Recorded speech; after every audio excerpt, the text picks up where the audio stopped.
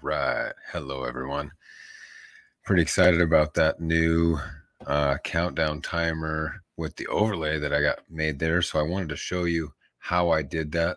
Pretty easy, really, and also how I made the other overlay, which I should have had up already, but we're practicing getting better at this. So I'm brand new to StreamYard.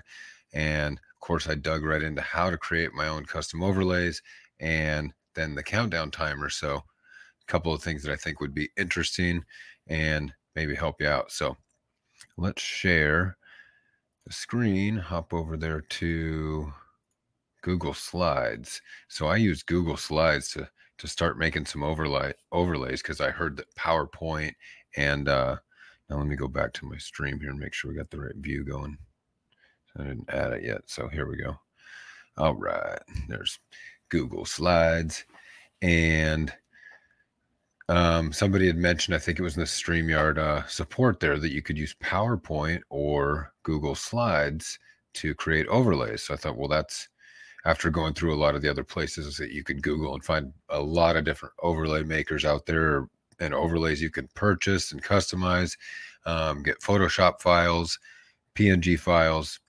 In order to have the transparent background, you have to have Photoshop and have the Photoshop files or something that'll work with that. So here, um, within slides and probably the same or similar in PowerPoint, you can just take that whole slide and choose the background color and choose transparent. So that's what I've done on each of these slides. And then you just add the elements like the rectangle shape that's behind that. Let's see, we can move that logo, move that shape. See, we just have a rectangle there with a text box on it um, and just did a little customization to the text with the, the shadowing and whatnot. And then we throw that shape up there. I had the border match the background of the text box. And then I've got another border complementing the logo colors around that text box as well, or that shape, I guess. Instead of using the background for the text box, I use a, a separate shape. So you can see it. The, the text is separate. That way you can get that element to go and run all the way through the slide. This part does fall off here, but you'll see, you know, if you're looking at my stream overlay as it sits up there in the corner, it, runs off and I like the way the lines disappear. It doesn't have the border at the end in the top left corner there. So that's why it looks in that particular way.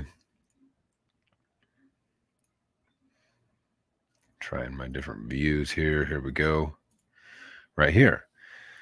So that's really it. That's my basic overlay right there. So once I have that figured out, and I made a few versions, I think if we go down here and look at this slide, you know, I, I was working through this and I had some circles and I kind of just looked at what StreamYard had done for theirs, right?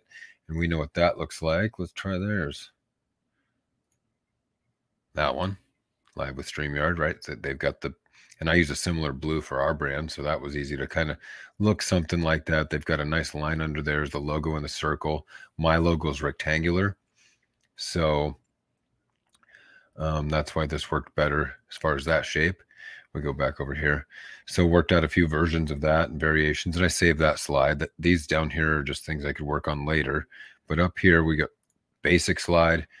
We've got the live view slide I've got a slide we can throw up that says stream will begin soon. Stream over Zoom. Um, then I copy, I just duplicate these a few times and then keep working with them so the top banner stays the same. So that's how I made the overlays in Google Slides. And then I use my video editor on my PC. Let's see if we can share that, which is Power Director. So I'm using Power Director and figured out how to make a countdown timer within Power Director that we showed at the beginning. And I'll show it while I try and work on the screen share here. Let's show this countdown again.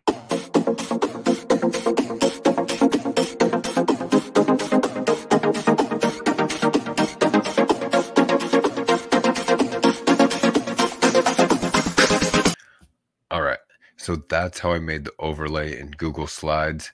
In the next video, I'm going to show you how I made the countdown timer in Power Director. So we'll see you on that one.